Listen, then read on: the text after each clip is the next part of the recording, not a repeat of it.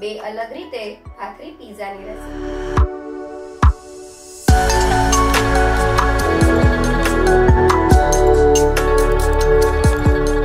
તો હેલ્ધી ઘઉંના લોટમાંથી બનતો ભાખરી પીઝાનો બેઝ આજે આપણે અમુક ટિપ્સ સાથે બનાવશું. સાથે ઇન્સ્ટન્ટ પીઝા સોસ તૈયાર કરીને વેજીટેબલ સાથે રેગ્યુલર ભાખરી પીઝા અને થોડો સ્પાઇસી અને બજાર જેવો તંદૂરી સોસ તૈયાર કરીને ચટપટા સ્ટફિંગ સાથે તંદૂરી પીઝા ઘરના તવા ઉપર બનાવશું. તો એકવાર જરૂરથી ટ્રાય કરવા જેવો ભાખરી પીઝા બનાવવાનું શરૂ કરીએ. લખેલી રેસીપી વીડિયો સાથે જોવા માટે ગૂગલ પ્લે સ્ટોરમાંથી ડાઉનલોડ કરો નેહાસ કુકબુક એપ સાથે મારી ચેનલને સબસ્ક્રાઇબ કરી બેલ આઇકોનને જરૂરથી દબાવો નવા રેસીપી વીડિયો સૌથી પહેલાં જોવા માટે. સૌથી પહેલાં ભાખરી પીઝાના બેઝ માટે ભાખરી બનાવવા મેં અહીંયા એક કપ જેટલો ઘઉંનો લોટ લીધેલો છે. તો રેગ્યુલર રોટી કરવા માટે આપણે જે લોટ વાપરતા હોય તે જ લીધેલો છે. સાથે તેટલા જ પ્રમાણમાં, એટલે કે એક કપ જેટલો, મેં ઘઉંનો કરકરો લોટ, એટલે કે ભાખરીનો લોટ લીધેલો છે. તો આ રીતનો લોટ તમને કોઈ પણ કરિયાણાવાળાની દુકાને ખૂબ જ સહેલાઈથી મળી જશે, જેને ઘઉંનો જાડો લોટ પણ કહેવામાં આવે છે. આ લોટથી આપણી ભાખરી પીઝાનો બેઝ એકદમ ક્રિસ્પી તૈયાર થશે. પણ જો ઘરમાં ઘઉંનો કરકરો લોટ, એટલે કે ભાખરીનો લોટ ના હોય, તો તમે તેની જગ્યાએ દોઢ કપ જેટલા ઘઉંના રેગ્યુલર લોટ સાથે અડધા કપ જેટલો ઝીણો રવો એડ કરીને ભાખરી, પીઝાનો બેઝ બનાવી શકો છો. હવે તેમાં સ્વાદ પ્રમાણે મીઠું એડ કરી દઈએ. તો આ સિવાય આપણે ભાખરી બનાવવામાં જીરું અને અજમાનો ઉપયોગ પણ કરતા હોઈએ છીએ.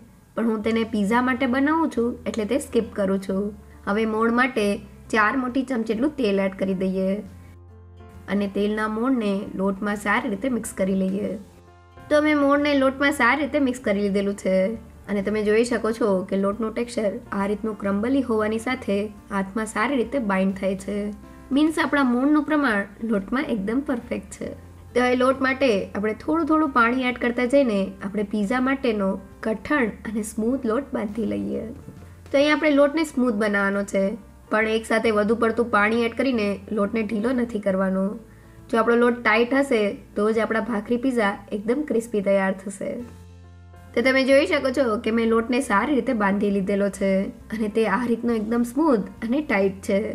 તો આ રીતનો લોટ તૈયાર કરવામાં મારે અડધા કપ જેટલા પાણીની જરૂર પડેલી છે. તો એ લોટને ઢાંકીને દસ મિનિટ માટેનો રેસ્ટ આપી દઈએ, જેથી તે એકદમ સારી રીતે સેટ થઈ જાય. તો દસ મિનિટ પછી આપણે લોટને જોઈ લઈએ. તો આપણો લોટ સારી રીતે સેટ થઈ ગયો છે. તો હવે તેને ફરી પાછો એક મિનિટ માટે મસળી લઈએ અને તેમાંથી પીઝા બનાવવા માટે મીડિયમ સાઇઝનો લુવો લઈ લઈએ. અને હવે લુવાને વણવા માટે પાટલા ઉપર રાખી દઈએ. અને હવે વેલણની મદદથી મીડિયમ થિકનેસવાળી ભાખરી વળી લઈએ. તો અહીં આપણે ભાખરીને વધુ પડતી પતલી નથી વળવાની જો આપણી ભાખરી પતલી હશે, તો તે સ્ટફિંગને બરાબર હોલ્ડ નહીં કરી શકે અને પીઝા ખાવાની મજા નહીં આવે. તો હવે ભાખરીને સારી રીતે વળી લીધેલી છે. તો હવે બધા જ ભાખરી પીઝાના બેઝ એક સરખા કરવા માટે આ રીતના વાટકાની મદદથી તેને કટ કરી લઈએ. અને હવે વધારાના લોટને કાઢીને વાટકાને લઈ લઈએ. તો પીઝા માટે વણાયેલી ભાખરીની થિકનેસ આ રીતની મીડિયમ છે. તો હવે શેકતી વખતે આપણો પીઝા બેઝ ફૂલે નહીં, તેના માટે કાંટાની મદદથી તેમાં આ રીતના હોલ્સ કરી લઈએ. અને હવે આ રીતના પીઝા માટે બધી જ ભાખરીને વણીને તૈયાર કરી લઈએ. હવે ભાખરીને શેકવા માટે મેં અહીંયા મીડિયમ ગેસની ફ્લેમ પર તવો ગરમ કરવા માટે રાખેલો છે. તો હવે તેની ઉપર ભાખરીના પીઝા બેઝને શેકવા માટે રાખી દઈએ. અને હવે મીડિયમ ટુ લો ગેસની ફ્લેમ પર ભાખરીને શેકી લઈએ. તો થોડી વાર પછી આપણે ભાખરીને પલટાવી દઈએ અને આ રીતના કપડાની મદદથી તેને પ્રેસ કરતા જઈને શેકી લઈએ. તો અહીં આપણે રેગ્યુલર ભાખરીની જેમ આ ભાખરીને એકદમ ગોલ્ડન બ્રાઉન નથી કરવાની. બસ તે હંડ્રેડ પર્સન્ટ કુક થઈ જાય અને અંદરથી જરા પણ કાચી ન રહે તે રીતના તેને ધીમા ગેસ પર શેકી લેવાની છે. સાથે આપણે ગેસની ફ્લેમ જરા પણ હાઈ નથી કરવાની, નહીં તો તે બહારથી તો ક્રિસ્પી થઈ જશે, પણ અંદરથી કાચી રહેશે. તો દીવા ગેસ પર લગભગ સાતથી આઠ મિનિટ જેવું થઈ ગયું છે અને આપણો ભાખરી પીઝા બેઝ બંને બાજુથી એકદમ સારી રીતે શેકાઈને કૂક થઈ ગયો છે. તો ભાખરીના લોટમાંથી આપણો બજાર જેવો પીઝા બેઝ તૈયાર થઈ ગયો છે. તમે અહીંયા બધા જ લોટમાંથી ભાખરીના પીઝા બેઝ તૈયાર કરી લીધેલા છે. તો હવે તેમાંથી બે અલગ રીતના પીઝા બનાવી લઈએ. તો સૌથી પહેલાં વેજીટેબલ પીઝા બનાવવા માટે ઇન્સ્ટન્ટ પીઝા સોસ બનાવવા મેં અહીંયા અડધા કપ જેટલો ટમેટો સોસ લીધેલો છે. અને હવે ટમેટો સોસથી અડધો, એટલે કે વન ફોર્થ કપ અને ચાર મોટી ચમચી જેટલો રેડ ચીલી સોસ એડ કરી દઈએ. તો ઇન્સ્ટન્ટ પીઝા સોસમાં ટમેટો સોસ ખાટો મીઠો અને રેડ ચીલી સોસ થોડો સ્પાઇસી ટેસ્ટ એડ કરશે. હવે તેમાં એક ચમચી જેટલા રેડ ચીલી ફ્લેક્સ અને એક ચમચી જેટલા મિક્સ હર્બ્સ એટલે કે ઓરેકાનો એડ કરી દઈએ. અને બધી જ વસ્તુને સારી રીતે મિક્સ કરી લઈએ. તો બધી વસ્તુ મિક્સ થઈને આપણો ઇન્સ્ટન્ટ પીઝા સોસ તૈયાર થઈ ગયો છે. જેને બનાવવો એકદમ સહેલો. તો હવે ફટાફટ ભાખરી પીઝા બનાવવા માટે બેઝને રોસ્ટ કરવા પેન ઉપર થોડું બટર લગાવી દઈએ. અહીંયા તમે બટરની જગ્યાએ ઘીનો ઉપયોગ પણ કરી શકો છો. તો હવે પીઝા બેઝના ઉપરના ભાગને આ રીતના બટર ઉપર રાખીને થોડો રોસ્ટ કરી લઈએ. તો ઉપરની બાજુ થોડી રોસ્ટ થઈ ગઈ છે, હવે બેઝને પલટાવી દઈએ. સાથે ગેસની ફ્લેમ પણ એકદમ લો કરી દઈએ. હવે ઉપરની બાજુએ તૈયાર કરેલો ઇન્સ્ટન્ટ પીઝા સોસ આ રીતના સ્પ્રેડ કરી દઈએ. અને હવે સ્પ્રેડ થયેલા સોસ ઉપર થોડું ચીઝ એડ કરી દઈએ. અહીંયા તમે ઘરમાં રહેલા કોઈ પણ ચીઝનો ઉપયોગ કરી શકો છો.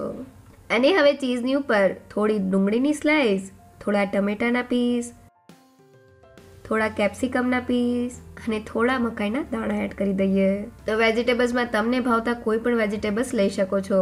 બસ તેનું કટિંગ થોડું નાનું રાખવું. સાથે થોડા ઓલિવ્સ એડ કરી દઈએ. તો જો ઘરમાં કાળા ઓલિવ્સ ના હોય તો તમે તેને સ્કીપ પણ કરી શકો છો. હવે ઉપરથી ફરી પાછું થોડું ચીઝ, થોડા ચીલી ફ્લેક્સ અને થોડો ઓરેગાનો સ્પ્રિંકલ કરી લઈએ. અને હવે ઢાંકણ ઢાંકીને એકદમ ધીમા ગેસ પર પીઝાને પાંચથી સાત મિનિટ માટે કૂક કરી લઈએ. તો પીઝા બનાવતી વખતે આપણે ગેસની ફ્લેમ લો જ રાખવાની છે. જો આપણી ગેસની ફ્લેમ હાઈ હશે, તો બેઝ નીચેથી બળી જશે અને ચીઝ બરાબર મેલ્ટ નહીં થાય.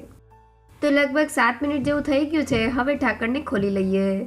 તો ધીમા ગેસ પર ભાખરી પીઝાનો બેઝ એકદમ સારી રીતે ક્રિસ્પી થઈને ઉપરથી ચીઝ પણ મેલ્ટ થઈ ગયું છે. તો જોતા જ ખાવાનું મન થઈ જાય એવો ટેસ્ટી ભાખરી પીઝા તૈયાર થઈ ગયો છે. તંદૂરી ભાખરી પીઝા બનાવવા માટે સૌથી પહેલાં તંદૂરી સોસ બનાવવા મિક્સિંગ બાઉલમાં એક મોટી ચમચેટલું તેલ એડ કરી દઈએ. તો ઓરિજિનલ તંદૂરી સોસમાં સરસવના તેલનો ઉપયોગ થાય છે. તમે તેની જગ્યાએ કોઈ પણ ફ્લેવરલેસ ઓઇલનો ઉપયોગ કરી શકો છો. હવે તેમાં બે મોટી ચમચેટલું કશ્મીરી લાલ મરચું પાવડર એડ કરીને તેને સારી રીતે મિક્સ કરી લઈએ.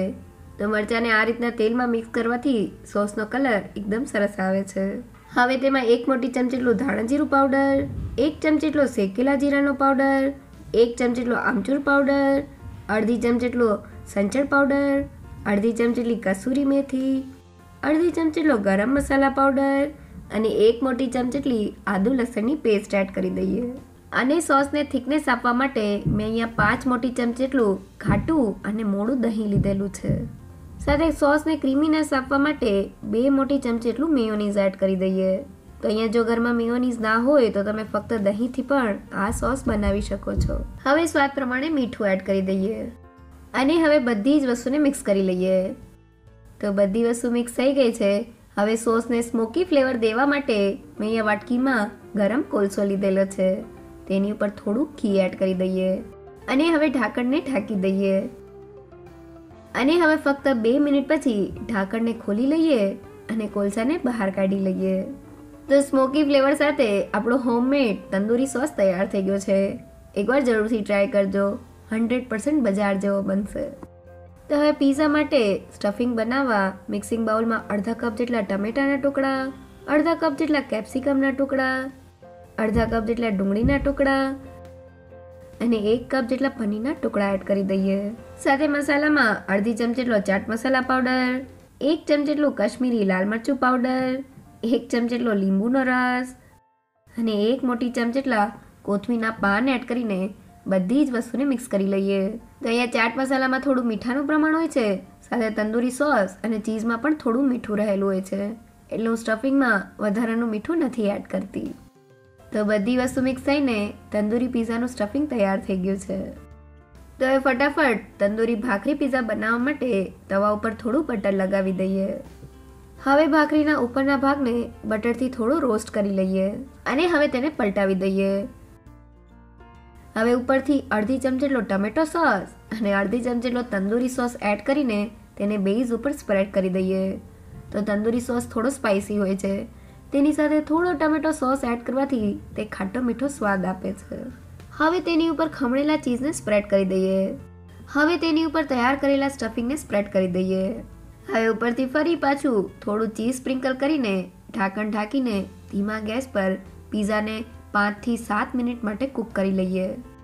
તો લગભગ સાત મિનિટ જેવું થઈ ગયું છે, હવે ઢાંકણને ખોલી લઈએ. તો ઉપરથી ચીઝ એકદમ સારી રીતે મેલ્ટ થઈ ગયું છે અને ક્રિસ્પી બેઝ સાથે આપણો તંદૂરી ભાખરી પીઝા તૈયાર થઈ ગયો છે. આ પીઝા સ્વાદમાં સુપર ટેસ્ટી લાગે છે. એકવાર જરૂરથી ટ્રાય કરજો. તો ઘરમાં બાળકોથી લઈ મોટા બધાને ભાવે તેવા બે અલગ રીતના ભાખરી પીઝા ઘરે બનાવવા માટે લખેલી રેસિપી જોતી હોય તો મેં વેબસાઇટની લિંક ડિસ્ક્રિપ્શન બોક્સમાં આપેલી છે. જો તમને મારી આજની રેસીપી ગમી હોય તો મને કમેન્ટ સેક્શનમાં જરૂરથી કહેજો. સાથે મારા વિડીયોને લાઇક અને ફ્રેન્ડ્સમાં શેર કરજો. અને મારી ચેનલને સબસ્ક્રાઈબ કરવાનું ના ભૂલશો. તો ફરી મળીએ એક નવી રેસીપી સાથે.